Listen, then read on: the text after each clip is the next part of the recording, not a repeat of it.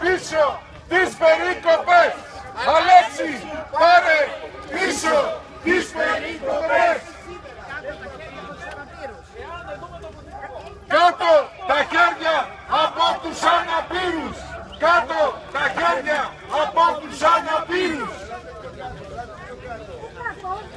Με αφορμή τη σημερινή κινητοποίηση, όπως ε, παρατηρείτε και εσείς που είστε εδώ σήμερα μαζί μας και σας ευχαριστούμε που μας δίνετε βήμα να πούμε δύο κουβέντες.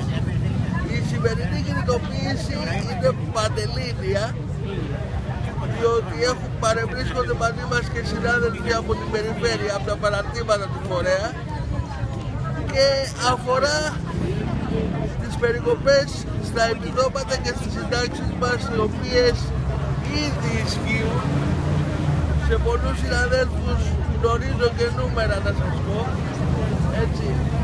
Αλλά το μεγαλύτερο ποσοστό είναι ότι α, τα επιδόματα έχουν πέσει και στο μισό.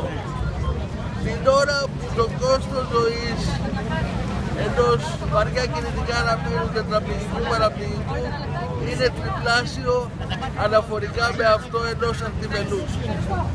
Εμείς θα συνεχίσουμε να αγωνιζόμαστε για τα δίκαια αιτήματα τα οποία έχει ο χώρος μας διότι μέχρι τώρα όλη αυτή την μνημονιακή εξαετία το μόνο που ακούμε από μια κυβέρνηση η οποία αριστερή κυβέρνηση η οποία πριν πάρει την εξουσία έλεγε ότι θα εφαρμόσει πολιτικές οι οποίες θα προστατεύουν ευπαθείς κοινωνικά ομάδες όχι μόνο αυτό δεν κάνει αλλά το μόνο που κάνει είναι να σπάει τη μέση στην Ευρώπη.